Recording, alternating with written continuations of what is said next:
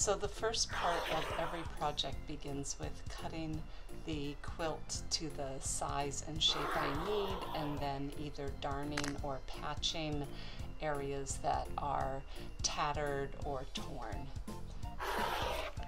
This um, tote bag is uh, really large and I need a piece that's approximately 25 inches wide by 39 inches tall.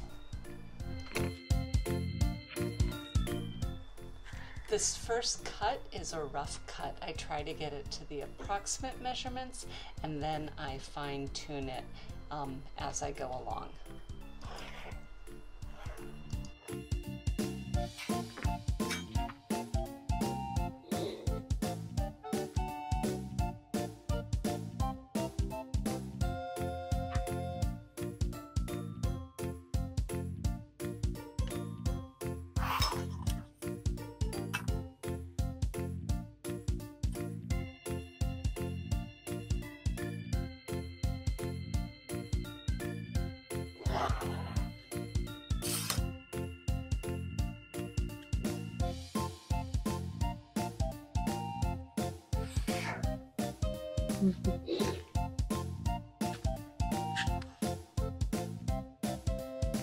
So now it's time to do some patching. This quilt had a lot of damage, so um, had damage on the white parts and the blue triangles as well.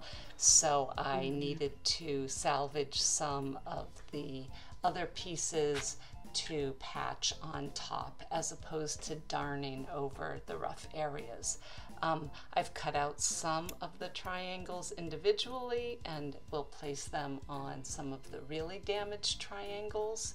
And then in some spots, I was able to cut um, a longer strip of triangles to use those.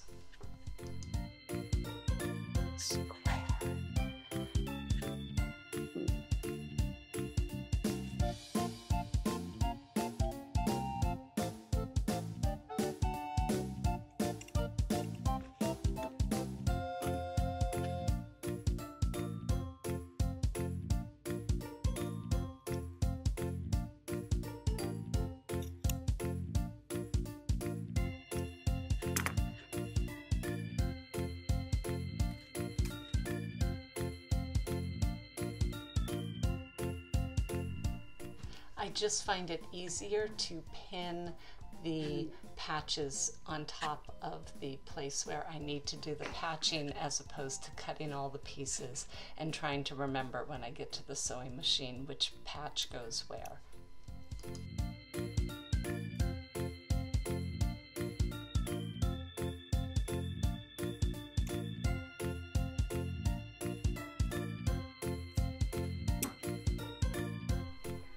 You'll notice that this piece is actually larger than the piece that I'm patching. That's okay, I'll be able to trim it off after I finish sewing it on top.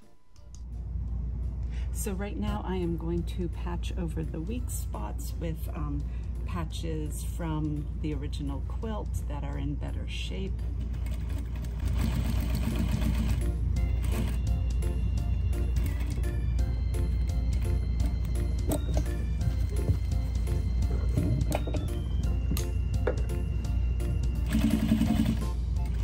Sometimes I do them individually and sometimes I um, cut out uh, a longer length.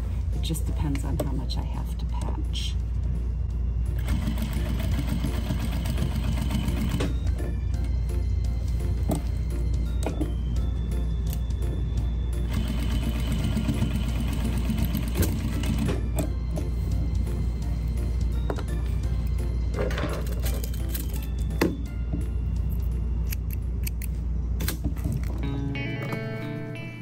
So that's it for the patching.